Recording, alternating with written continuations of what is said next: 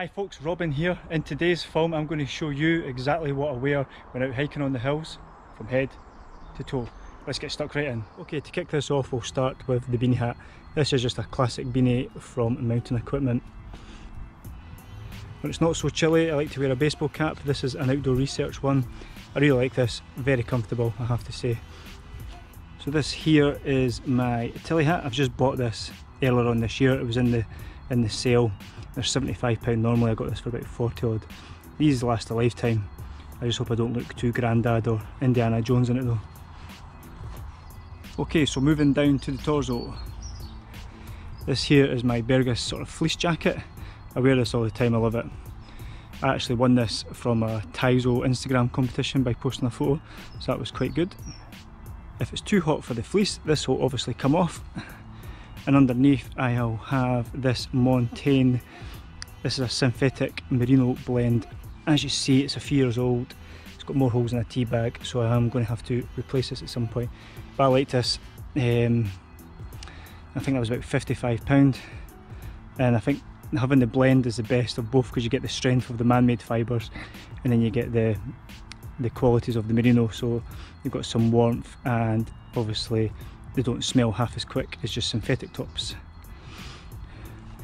Glove wise, I've got these packable head ones, these are just cheap ones, you can use your phone with them as well. If it's a bit colder still, I'll opt for the Montane Prism gloves, which are here. These pack up tiny. Watch wise, I don't go in for smart watches, so I have this here. It's a Suunto All Black Core I just use this for my time, what height I'm at, and that's pretty much it. Oh, if you take off your wrist you get a good temperature reading as well for when you're camped up at night. During lockdown I also bought this. This is the Casio equivalent. It's a bit more retro, but Argos had a sale and I thought why not.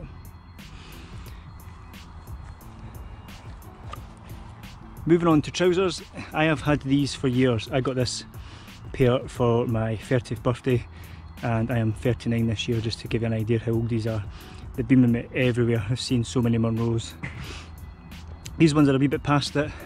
I went and ripped them there though, I got them caught on a nail. So I have actually replaced these with the Baltic Blue equivalent and I'm looking forward to trying them out.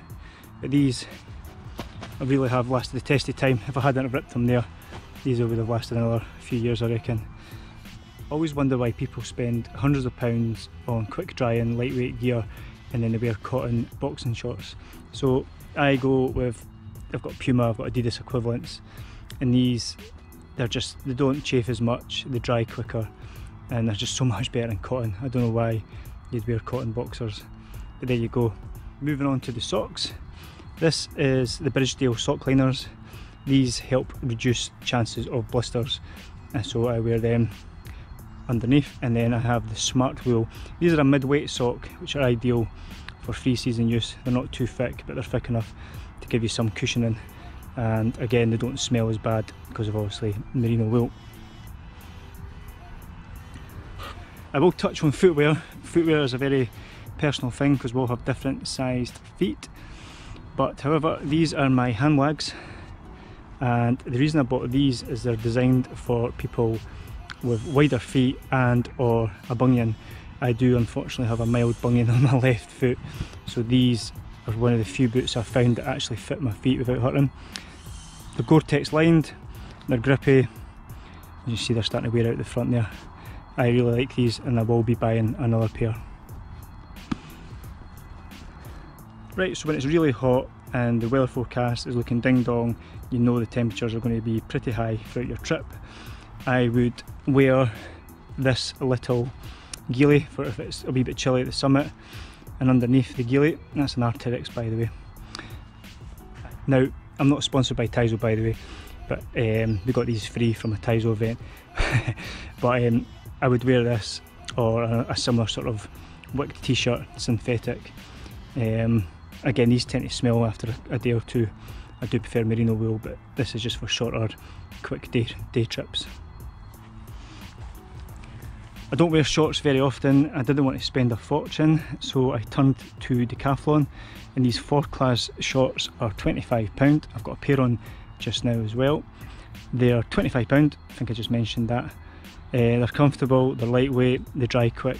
I was actually tempted to buy the trouser version of these, but I decided just to go with what I knew and I stuck with the Montane Terra pants. But yes, really good shorts, like these a lot. These socks are what I'd wear if I'm wearing trail shoes, trail runners. So I've just got a pair of sort of ankle height Bridgedale socks. These are quite thin, but they put the cushioning in the important places, obviously the toes and your heels, and I find them pretty comfortable. They're quick drying because there's not a lot of material there. For a bit more comfort and longer trips, I've gone for the darn tough ones, and these are cracking socks I have to say. I've only worn these once or twice, but I'm impressed so far. Summer footwear, these are the Saucony Peregrine ISO shoes. These are brilliant. As you can see, they've got a very aggressive sole. They've got a rock plate here to protect your sole. Got a lot of cushioning at the back and there's a 4mm lift from toe to heel. I find these incredibly comfortable and they're brilliant. No complaints whatsoever. Well, one minor complaint actually, you do get a slight bit of heel lift um, and I've read this before, however I've never had any blisters from that. It's just something you have to get used to. But otherwise yeah I've actually bought another pair of these and they're on their way because they've brought a new model and I just think these are you know what it's like. Next up is insulation. This here is the Mountain Equipment. Superflux jacket. It's synthetic rather than down and it weighs about 440 grams this I'd wear at, at the summit if it was chilly or if I'm out camping for later on in the evening when the, the temperatures drop Rain gear, I have the Mountain Equipment Firefly jacket. This is going to be needing replaced soon. It's starting to wear out a wee bit. Uh, still waterproof, but you can see there, the Gore-Tex there is just starting to fray a wee bit. So hmm, I think that'll be getting replaced soon.